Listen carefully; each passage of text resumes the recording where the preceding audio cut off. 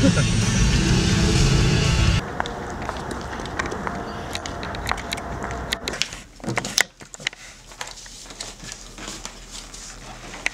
そっか僕もその時ここねいたいたはずですけどね、このねあの友の浦の漁師のね、人たちが。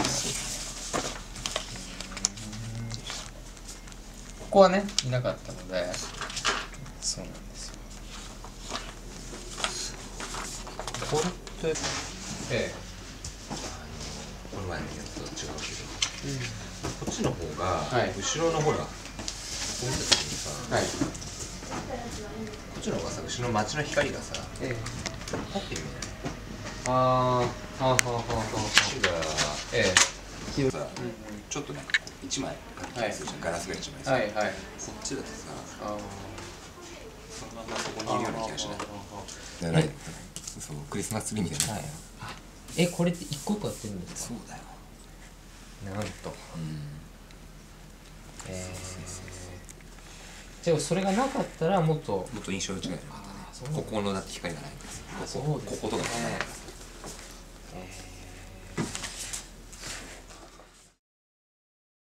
写真ってものすごくスピリチュアルなことなのよ、やっぱ場の空気その第六感で写真撮ってるのでそれ撮ってるカメラマンと撮ってないカメラマンって一目瞭然なのよ。で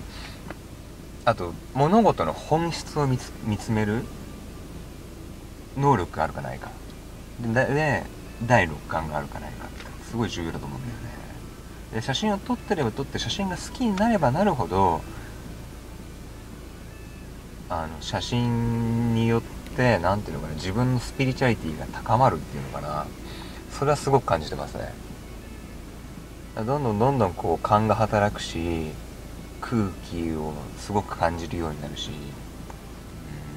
うん、でもよくさあの写真の神様とかなんかいう話しない？なんかいるかどうかわかんないけどなんかもう本当にここにあどうしたらこんな光が今降ってくれるんだろうとかさいきなり雨が止んで光が差したりとかさ虹が差したりとかさそういうのってやっぱりその人が持ってる運とかそうです。ねあると思うんだよね。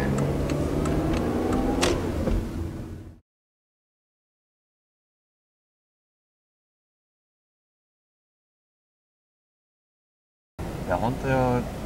写真っていうのがこう業が深い行為だなと思ってやっぱ自分のものにするわけよ。それを。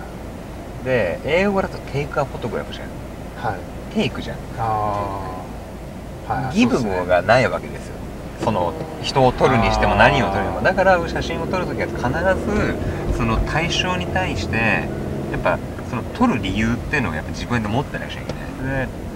やっぱりこうその相手にその被写体への敬意っていうのが一番大切なことだと思う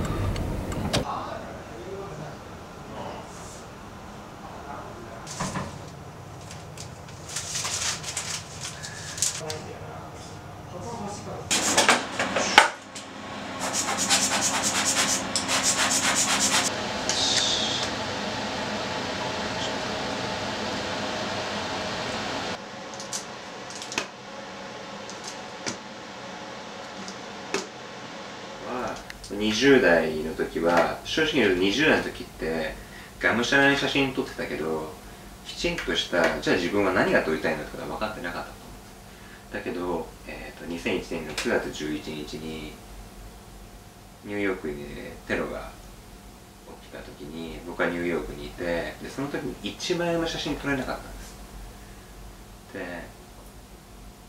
周りのカメラマンたちはすぐにカメラとカメラ持ってワールドレードセンターの方にも駆けつけて写真を撮ったんだけど僕は何も一枚も写真を撮ることができなくてある時まあちょっと旅行に行こうかなと休みを取って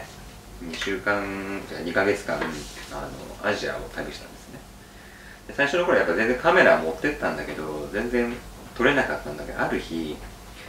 美しい田園が広がってて川が流れてて子供たちは「あなんかお兄ちゃんが来た」っつってこう駆け寄ってきてでおじいちゃんおばあちゃんは農作業手止めて「こうサバイディ」って手を振ってくれる。でそれを見た時に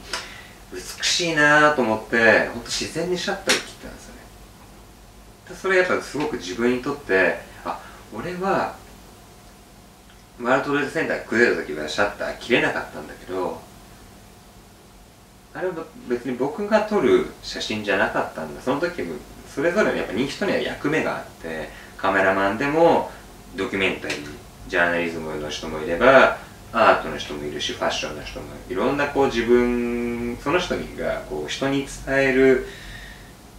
それぞれのやっぱ役目があると思うんですけどその時僕が気づいたのは僕は世界はそれでも世界は素晴らしいんだよっていう美しいんだよっていうのを人に伝えたいんだなってことが分かったんですね。そういう意味では本当あの911っていうのは僕にとってものすごく大きな事件であり